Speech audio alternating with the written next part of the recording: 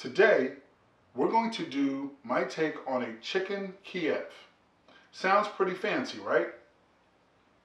Looks fancy for sure, but it's not difficult to do at all. Would you like to learn how to do it, boys and girls? Come on, follow me in the kitchen. Okay, so uh, I didn't have the recording on, so you didn't hear anything that I said. So um, first thing that you want to do is get some butter, some garlic with parsley, and some room temperature butter. You want to cut it up real fine, smash it and crash it and everything else, mix it in the butter, stick it in the fridge until the butter gets hard. All right? Then you want to flatten out a chicken breast. You can use a rolling pin. You can use a you can use a can of garbanzo beans or whatever. I wouldn't recommend doing anything uh, glass, but you want to get that flat uh, so that it lays completely flat because you're going to take that butter and you're going to stick it just on the inside and you're going to wrap that butter up in there and try to seal it so none of that butter seeps out. Now, it's easier if you have some saran wrap, which I do not have. But I do have some aluminum foil, and I've, I've wrapped this up already. Kind of inside here is a is the other part of that butter. And the goal is to wrap that up so that butter does not leak out. And we're going to stick this in the freezer for about 20 minutes. We're going to take the wrap off and then we're going to take it to the next step. All right?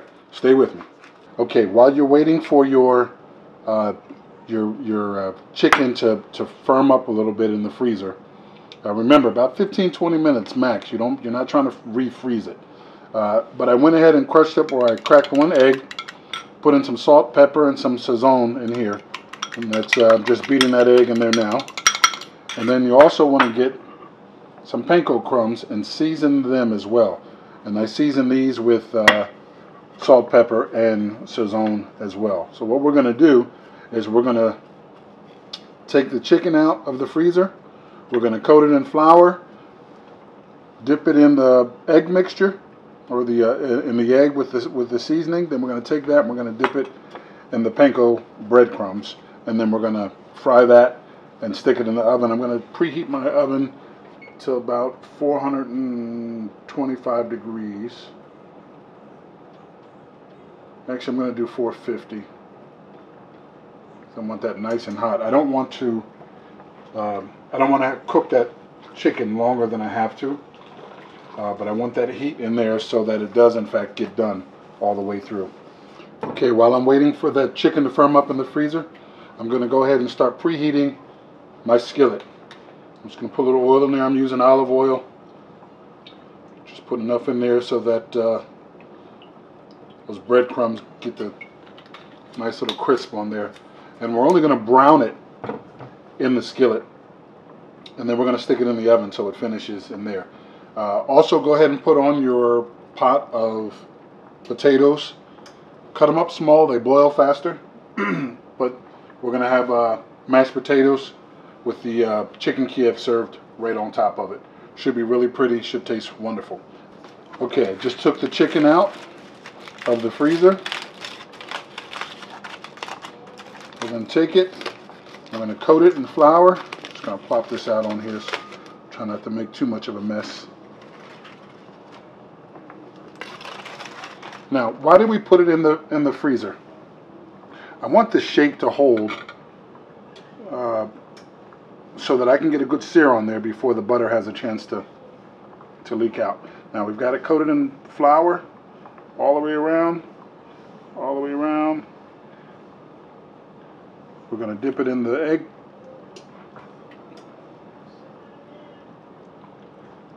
Uh, come on, come on, cooperate, cooperate. And then we're going to dip it in the panko breadcrumbs. And I can already tell my thing has come unraveled. Uh, so if that's the case, no big deal. There's just there just won't be a pocket of butter in there, but you will still get that flavor. And what I'm going to do is I'm going to put this in the pan with the flap side down first in hopes that we could still seal that butter inside there. And that's really what this is all about, just trying to keep that butter in there and still make it pretty. One little more on top there. All right, we're going in.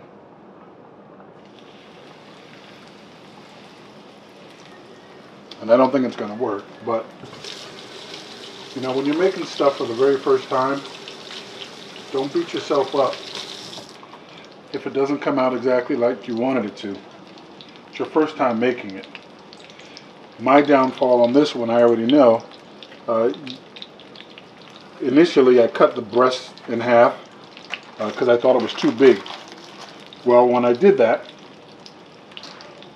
I didn't leave myself enough chicken to flap over to make sure that that butter stays sealed on the inside. And so I'm left now with a smaller piece of chicken, try to keep that butter in there and hope it doesn't leak out. If it does, oh well, I'll fix it on the next time. You do the same thing. Don't beat yourself up. My potatoes are still going. We're going to flip this over in a minute and uh, let's see if our butter is still intact. Okay, as you can see, I put that other piece in there as well. We're going to take these out now. I already flipped them. We're going to take it out. No, they are not done. I just want it to crisp on the outside. We're going to set that on that tray there. I'll take this one out. I'll set that one in there. Now they're going to go in the oven, 450 degrees, about 15-20 minutes. And then we'll be right back.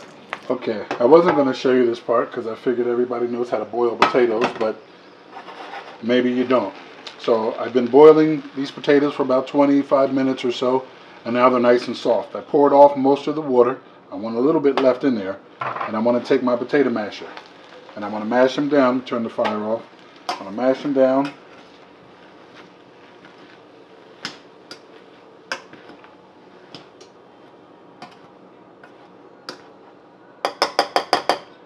I leave the skin on. These are uh, the Baby Dutch yellow potatoes uh, that I love so much. Found a really good deal on these at a farmer's market the other day. So I ended up getting twice as much as I normally get. Now, it's pretty dry in there. Now I can do a couple things. I can add some cream or some, some milk, which I may do, but guess what? I got that fancy butter that we spent all that time making earlier. I'm going to take some of that. I'm going to drop it right in there. I still may use just a little touch of milk or so. I'm going to put a little bit of salt and pepper.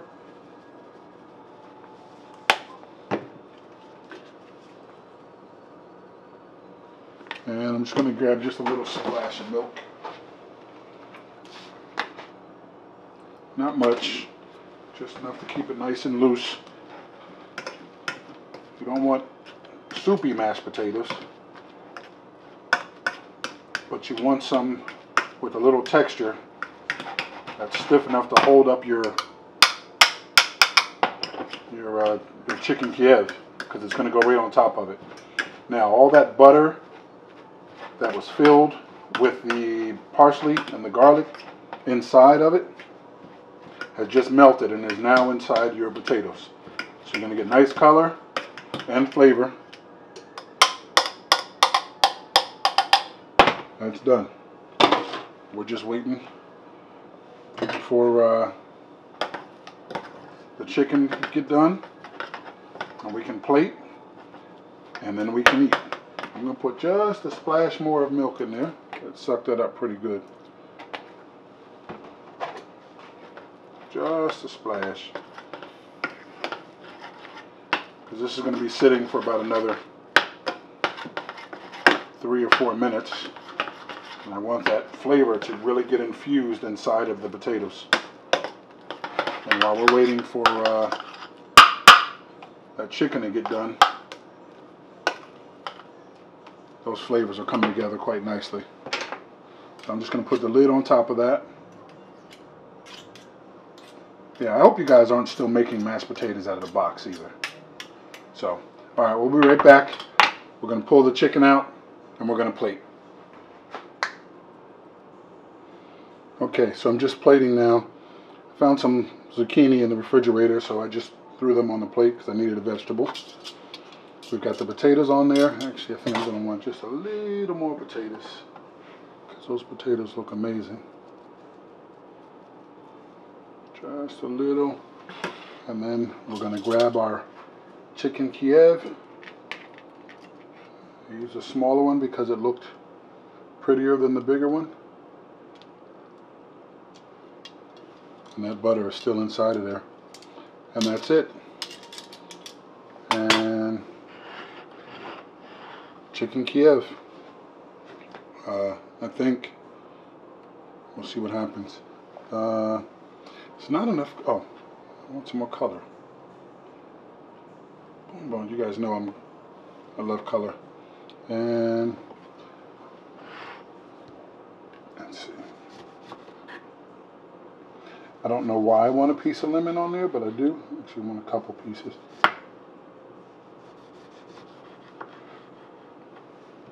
Maybe just for color or something. I don't know. But look at that. Bingo, bango. Chicken Kiev, sort of, kind of. Not bad for the first time. Thanks for joining me, folks. I'll see you next time on Real Fast Food.